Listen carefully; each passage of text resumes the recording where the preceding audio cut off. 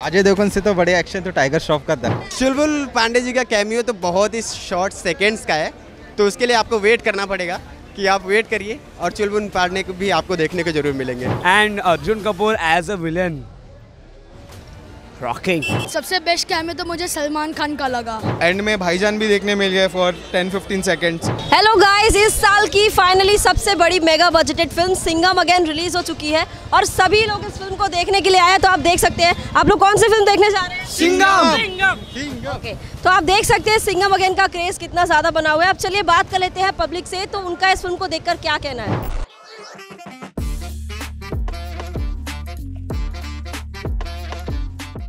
सकते हैं सिंगम अगेन का क्रेज ये जो हमारे भाई साहब है पूरी की पूरी टी शर्ट पहनकर यहाँ पे घूम रहे हैं। तो सर बताइए आपको फ़िल्म कैसी? All time superb after the Suryavanshi. सही था अच्छा था। अजय देवगन की एक्टिंग अजय देवगन ही तो मेन है सिंगम का। It was mind blowing. What would you say about Ajay Devgn movie बहुत अच्छी थी और मैं तो बोलता हूँ फैमिली के साथ आइए फैमिली वाइज मूवी है तो आप आइए फैमिली के साथ हॉलीडे है इंजॉय करिए बहुत ही अच्छी मूवी है। मूवी अच्छी लगी। अजय के बारे में क्या? अच्छा काम किया है। बहुत अच्छे एक्टिंग बहुत ही अच्छी थी। विलन के रूप में अर्जुन कपूर ने बहुत ही अच्छा काम किया है। सुपर हाँ मैंने देखा कि फ़िल्म आपको ओवरऑल फ़िल्म कैसी लगी? बहुत अच्छी थी। वन टाइम वॉच थी लेकिन बढ़िया थी। it's an amazing movie. It's an you know Diwali entertainment power pack with your friends and family. You must watch this movie. It's an amazing movie. Arjun Kapoor के बारे में क्या? अच्छा विलन अच्छा है वो। पहले पहले दूसरे और तीसरे सिंगम तीनों को कंपेयर करें तो कौन सी बेस्ट ज़बरदस्त मूवी ज़बरदस्त है वन टाइम वॉच है एंटरटेनमेंट से भरी पड़ी है और सुपरस्टार्स हर पंद्रह मिनट में नया सुपरस्टार आ रहा है स्क्रीन पे। खतरनाक था मतलब अभी हम अ, सिंगम से मतलब थोड़ा सा सेटबैक ही हो पाए थे कि उतने में फिर टाइगर श्रॉफ की एंट्री फिर दीपिका पादुकोण की एंट्री एंड में भाईजान भी देखने मिल गए फॉर 10-15 सेकेंड्स तो पैकेज था फुल धमाकेदार मूवी तो अगर पहले और दूसरे सिंगम और तीसरे सिंगम को देखेंगे तो तीनों तो बहुत बहुत बेस्ट लगी है ये वाली सबसे बेस्ट है। सबसे बेस्ट है। मतलब इसमें एक्शन ज़्यादा दिखा है इसमें। ठीक है मतलब देखने लायक अच्छा है। और आपको एक्शन के मा- अगर आप बहुत अच्छे आपको अच्छी मूवीज़ लगती है एक्शन के मामले में तो आप एक्शन आपको यहाँ पे भरपूर मिलेगा। और सुपरस्टार्स तो यहाँ पे एक नहीं है तो बहुत सारे आपने जैसे तो फ़िल्म में जो रामायण का कंसेप्ट दिखाया गया है वो कैसा? रामायण का कॉन्सेप्ट बहुत ही तगड़ा था कि अगर एक स्टोरी का लाइनअप आप देखते हैं तो रामायण से अच्छी कोई स्टोरी है नहीं। जैसा कि आपको वहाँ पे सारी चीज़ें देखने को मिलेंगे फैमिली ड्रामा सीक्वेंस सब कुछ है वहाँ पे। तो मूवी में भी वही सब दिखाने की कोशिश की गई है। हाँ वो भी अ, मतलब एक या दो ही मिनट का कैमियो था लेकिन ठीक था वो। तो अजय देवगन और उनके एक्शन के बारे में क्या बोलेंगे? अजय देवगन से तो बड़े एक्शन तो टाइगर श्रॉफ का था। हाँ टाइगर श्रॉफ और रणवीर सिंह की कॉमेडी बढ़िया थी Superb. अजय देवगन तो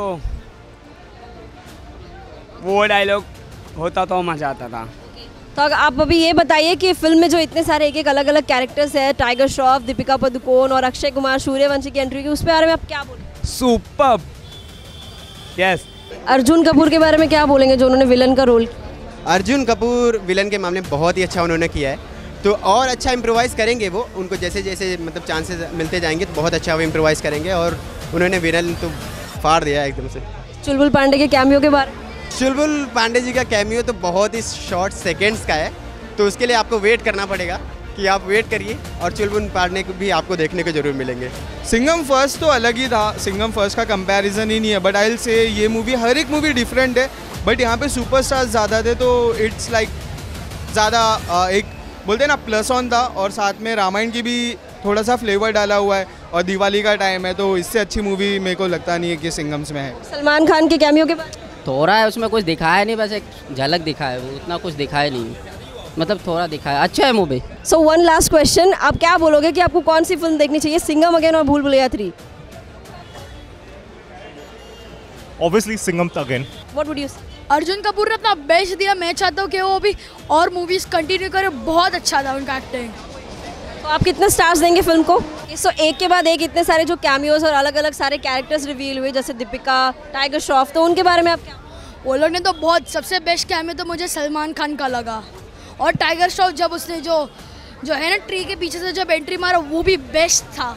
अरे वो तो ठीक था ओके ओके था बट टाइगर श्रॉफ और रणवीर सिंह का ही काम बढ़िया था। अजय देवगन से भी बढ़िया था। पैसा वसूल? अरे पैसा वसूल नहीं बहुत पैसा वसूली है And Ravi Anna, uh, Ravi Anna, Ravi Basu Anna and Taman Anna's BGM top notch I think मैं तो कहता हूँ कॉप यूनिवर्स के अगर जो बीजीएम से रोहित शेट्टी को इन दोनों को ही देने चाहिए। सच बोल रहा के जो फन टू सलार के बाद जो बीजीएम्स दिए ना टॉप लेवल सो फ़िल्म में एक के बाद एक जो सारे कैमियो सारे एक एक अलग अलग कैरेक्टर्स रिवील हो रहे थे व्हाट वुड यू अमेजिंग मतलब टाइगर श्रॉफ की एंट्री मैं एक्सपेक्ट नहीं कर रहा था, काफ़ी मतलब दमदार है। उसको डायलॉग्स इतने नहीं दिए थे बट मैं ठीक हूँ मतलब सेटिस्फाइड हूँ, क्योंकि उसकी एंट्री धमाकेदार थी सेम एज शक्ति शेट्टी जो दीपिका पादुकोण है, उसका भी एंट्री काफ़ी अच्छा था अच्छा तरीके से था। अर्जुन कपूर, क्या यार मतलब विलन क्या बना है। मतलब ही इज़ लाइक कि मतलब एक्सपेक्ट ही नहीं किया था। फ़र्स्ट ऑफ़ ऑल क्योंकि उसकी इतनी मूवी स्पीड रही थी बार बार बार बार। कुछ एक्सपेक्ट मैंने किया ही नहीं था कि इतना अच्छा करेगा बट रोहित शेट्टी ने अच्छी तरीके पे उसको प्लेस किया है एंड अमेजिंग विलन का किरदार उसने निभाया है। कितने स्टार्स देंगे five out of five four point five out of five मैं तो फाइव दे दूँगा अच्छा Ajay Devgn five five overall star I will give 3.5 four star चार स्टार दे सकता हूँ। Ten on ten for sure so when it comes to rating, how many stars? 3.5 and that too major contribution मैं अगर कहूँगा मुझे पसंद है रणवीर सिंह। एंड यहाँ पे मूवी में भी रणवीर सिंह का कॉन्ट्रीब्यूशन बहुत अच्छा था। एक्शन तो एक्सपेक्टेड ही था बट जो कॉमेडी उन्होंने किया that was totally outstanding तो 3.5 point five from five five of five and must watch and this Diwali it's a power pack entertainment for you all guys you will be not getting disappointed but what about the surprising cameo surprising cameo wits an amazing again Chulbul Pandey right दिलों की धड़कन चुलबुल पांडे मतलब जैसे ही वो dialogue सुनने में आता है स्वागत नहीं करोगे हमारा पूरा थिएटर जो रुक सा गया है ना कोई हिला भी नहीं है रुक सा गया है जब तक वो पेज नहीं आया कि Chulbul Pandey and Singham are getting collab तब तक पब्लिक रुकी थी। और अभी मैं तो बहुत बेसब्री से इंतज़ार कर रहा हूँ कि रोहित शेट्टी आप कब वो कर रहे हो? क्योंकि वो सब मतलब वो पूरा पैन इंडिया लेवल की मतलब वो तो अ, सबसे बड़ा क्वेश्चन था ना कि अ, कटप क्या? कटप्पा ने बाहुबली को क्यों मारा? भाई, लोग वैसे ही वेट कर रहे कि कभी सिंगम और चुलबुल साथ में आने वाले तो जैसा कि आप सभी देख सकते हैं सिंगम अगेन का इतना ज़्यादा क्रेज़ बना हुआ है और हमारे ऑडियंस ने भी काफ़ी अच्छी खासी रिस्पांस दी है फ़िल्म को। तब अगर आपने इस फ़िल्म को देखा नहीं है तो देख लीजिए और हमें कॉमेंट सेक्शन में ज़रूर बताइए कि आपको सिंगम अगेन कैसी लग रही है।